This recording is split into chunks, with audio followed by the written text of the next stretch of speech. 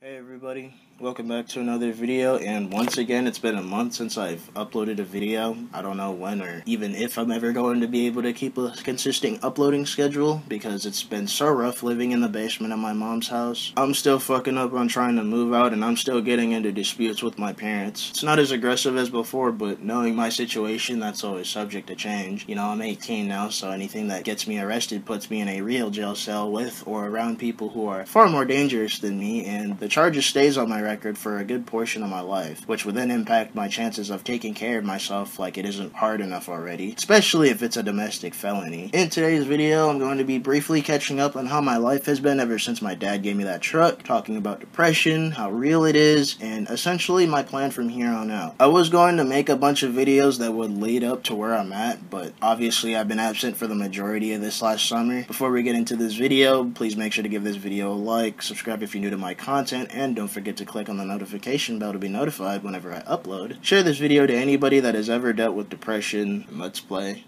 Depression is Real.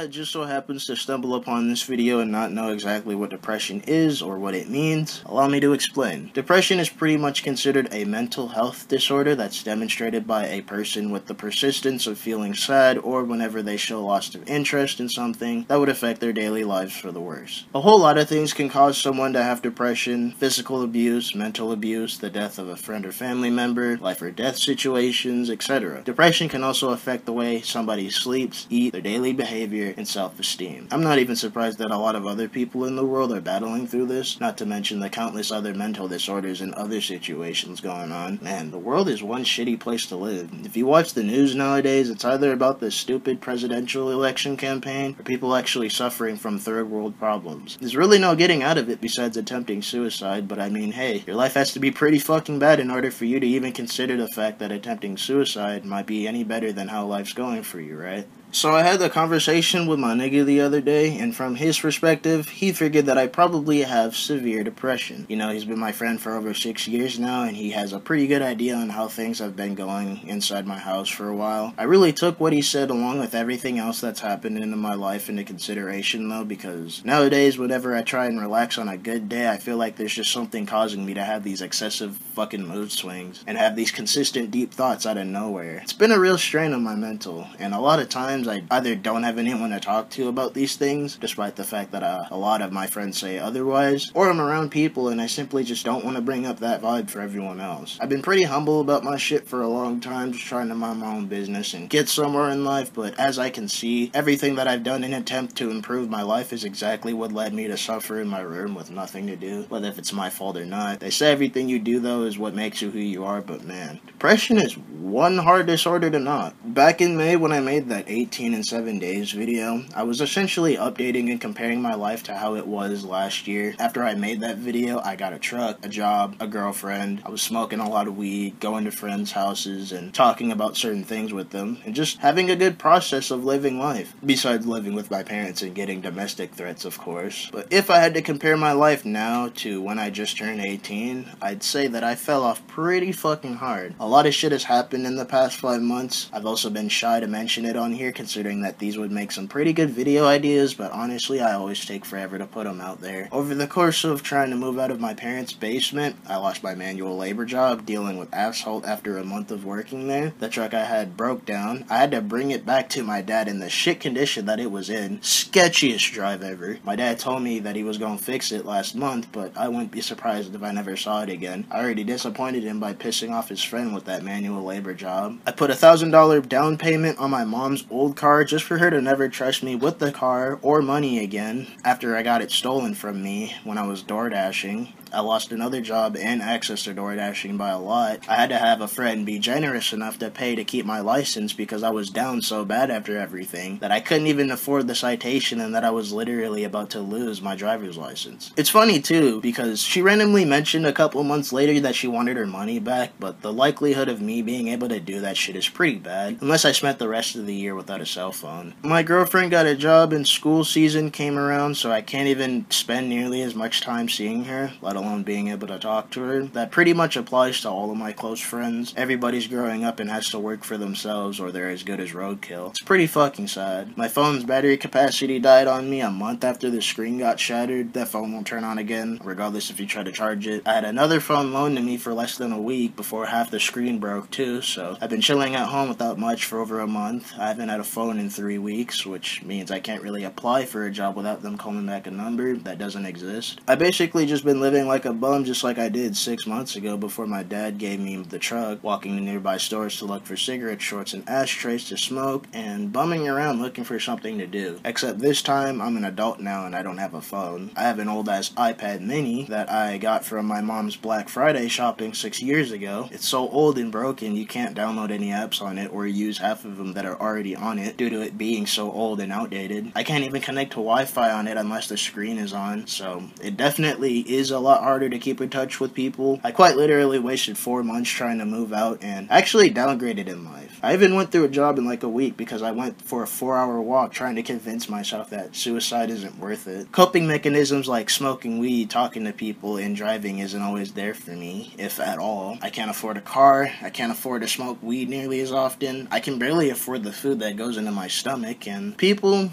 Everybody's growing up and getting busy. It's funny too, because I could die right now and motherfuckers wouldn't even realize what was wrong until they see it on the news or that I haven't responded to them in like a week or some shit. My friend who I had the conversation with about depression recommended me to seek a psychiatrist, therapist, or just move into a homeless shelter if the conditions at home are really that bad. I thought about it for a day, but then I thought about it again a lot quicker and I realized that these options probably wouldn't work out for me very well. First of all, this won't even be the first time that I had a a therapy session that didn't work out well because the therapist wouldn't tell me how to fix my situation. They would only tell me to cope with it, and me being 12 years old at the time with a grandmother who got way more leverage than me in terms of getting into family disputes, I got these soft hearted little comments that were supposed to reconsider the relationship with my family over and over again. I don't really want to have to deal with any of that shit again, along with the fact that I don't want to cope with my parents threatening me, I don't want to cope with getting shit stolen from me, I don't want to cope with getting kicked out of the house over some bullshit, not having shit. I want answers.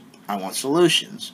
I want a laid back job. I want a car with the ability of making a quick buck through DoorDash. I want to move out to an apartment with my girlfriend without having to risk dying from homelessness. I want to grow up and have kids. I want to know why my parents keep acting the way they do, or if they even feel any sympathy for anything post traumatic that they've ever put me through. Dude, you y'all don't even know the half. Second of all, I'm only getting one check and I'm supposed to use it for a phone with cellular service. I don't want to pay money just for some stranger to tell me what's wrong with me or how to cope with every bad thing that's going on without even telling me how I can change any of it. I'm also planning on supplying myself with groceries because there's little to no food at home and I'm literally starving during the making of this video. Third of all, living in a homeless shelter alone would change my life. Let's say if I move into this homeless shelter after I get a phone and everything, right? I have to wear a mask 24 7. I have to go outside in the freezing cold every time I want to smoke or hang out with a friend. And yes, it's already freezing cold. We're supposed to get two to five inches of fucking snow today. Crazy, right? People who tend to go to homeless shelters usually have a jail history and get released without any context of their family, so they're already battling through mind boggling disorders. They have rules for everything, like everything. They tell you when to get out of bed, eat breakfast, lunch, and dinner, and when it's bedtime. It's quite literally like a fucking rehab center, except they don't feed you medicine. I've been to a rehab center before, and let me tell you, bro, that shit is just as traumatizing as living in a mentally abusive family, if not more. Considering it's all strangers too. At home, yes, I get domestic threats, I get my room raided and all that bullshit, but they don't care if I disappeared for a month and came back. Nine times out of ten, I get away with smoking weed and cigarettes in my room now. I don't have a bedtime. I haven't really had a bedtime since before coronavirus made everyone do online school, which was like seven or eight months ago. And the best part is I can do essentially whatever I want.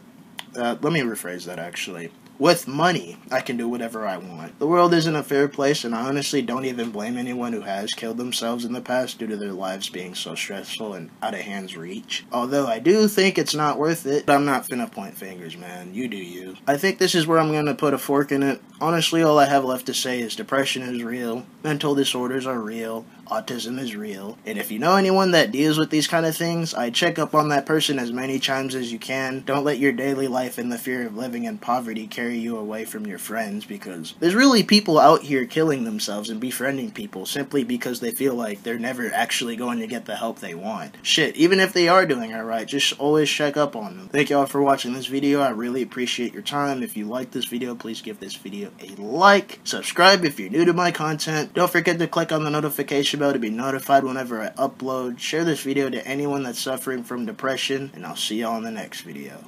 Whenever that is. Peace out, sauce.